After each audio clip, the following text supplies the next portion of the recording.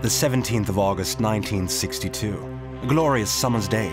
West Berlin student Margit Hosseini plans to celebrate her birthday near Checkpoint Charlie.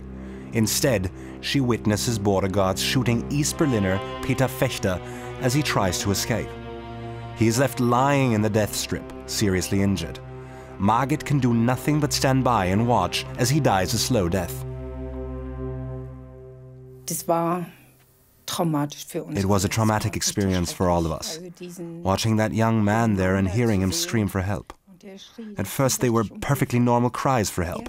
Then he started to plead and he got quieter and quieter, as if his life was gradually seeping out of his body. Stiller und stiller, so wie eigentlich das Leben aus dem Körper rausfloss. It was terrible. Really terrible. War schrecklich, richtig schrecklich. No one dares help the dying man, neither the Americans nor the West Berlin police. The GDR border guards do not move either. An hour passes before the guards retrieve the lifeless body. The images are seen the world over. They come to symbolize the inhumanity of the violent division of Berlin.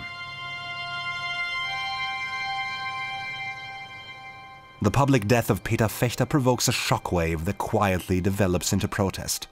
Riots break out that night. US soldiers and police have to keep demonstrators away from the sector border, becoming targets themselves in the process.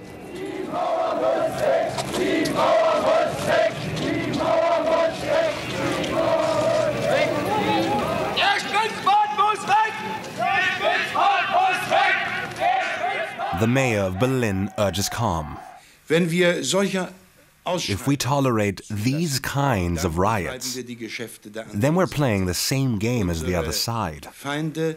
Our enemies are just waiting for us to lose our temper. So I ask you to remain level headed, even though you may be angry.